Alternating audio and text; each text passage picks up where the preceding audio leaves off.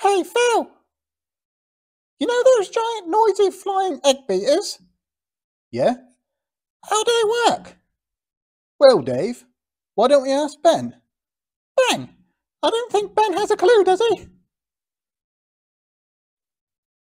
I've been trying to get a better understanding of how a swash plate works, so I've been looking at my radio-controlled helicopter. This model also has a flybar incorporated, developed by Stanley Hiller. Here is how I think it works. If we look at the bar, we can see it's free to teeter. The flybar is connected to the main rotor blades through mixing levers. If we want to fly forward, for example, the swash plate tilts forward. What this has done is increase the pitch on this paddle and decrease the pitch on the opposite paddle. During the next 90 degrees of rotation, the flybar has now tilted forward. Tilting the flybar forward has resulted in increasing the main blade pitch on this blade and decreasing it on the opposite blade. Add another 90 degrees and now the main rotor disc has tilted forward and this is how the flybar controls the main blades. So what are the advantages of this system? Well, without the flybar, the pitch links on the swash plate would be directly connected to the blade grips on the main rotor. This would give an approximate 90 degrees phase lag. With the addition of the flybar, the phase lag is more like 180 degrees. To recap then, swashplate tilts forward, alters the pitch of the flybar. 90 degrees later the flybar has tilted forward. That's altered the pitch on the main blades. Add another 90 degrees and the main rotor has tilted forward. This has increased the time it takes for the rotor to react to the cyclic stick command, or phase lag. This delay is very useful on model helicopters because without it, keeping up with the rate of rotor tilt would be very difficult. But there is something else going on here too, and that is to do with gyroscopic stability. On the flybar, we can see metal weights which act as a gyroscope. The more weight we add, the slower the flybar will respond.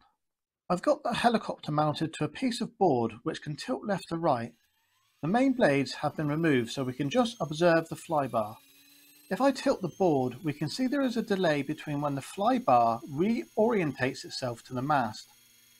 With relatively small aerodynamic paddles and relatively high mass, this is the reason for the delayed response.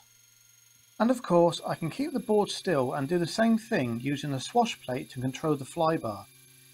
There is then a relationship between the aerodynamic forces and gyroscopic forces, where aerodynamics move the rotor and gyroscopic forces fight against it. The ratio of this relationship can easily be adjusted using the flybar for control.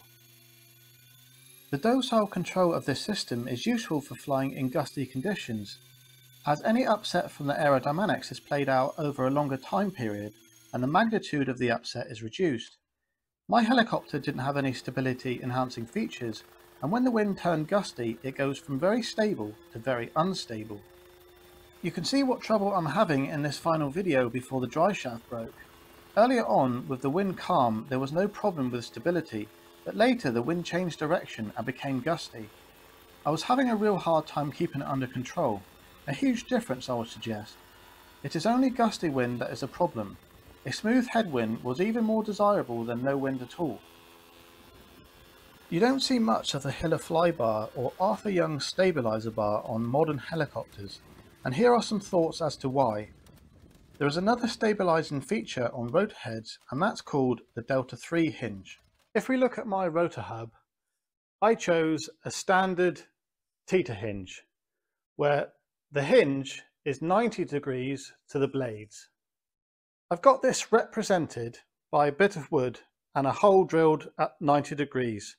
It's on a pin so it can flap and the rotor blade is facing this way so if we have a gust of wind coming from this direction, as this is rotating anti-clockwise, more lift is going to be generated on this side and less lift is going to be generated on the opposite side. With this hinge, it allows the blade to go up and the other one to go down respectively. If then I decided to mount this not at 90 degrees, but at 45 degrees, what happens then? What happens when this flaps now is as this blade rises due to the extra lift it's generating, it also tilts downwards. Can you see how it tilts? And the same happens on the opposite side. That one increases in pitch, this one decreases in pitch. This change of pitch automatically compensates for dissymmetry of lift and it reduces the amount of flap the rotor experiences. It might be obvious to some why the pitch changes, but let's imagine we put the pin like that we'd only see a change in pitch. If 90 degrees, we don't see any pitch change at all. So depending on what angle we choose, dictates how much pitch is changing while the rotor flaps. If I had incorporated that type of hinge into my rotor heads, when the wind was gusting, I wouldn't have such negative effects of control. But we don't usually see delta 3 hinges on main rotors. You see them on tail rotors, but not on main rotors. At least not in the way that I'm describing. There is actually delta 3 built into rotor heads. If we look at the R22, it also has a delta 3 hinge, but it's not recognizable unless you know what you're looking for. Here is a picture of a Robinson R22 rotor head and here is the teeter hinge.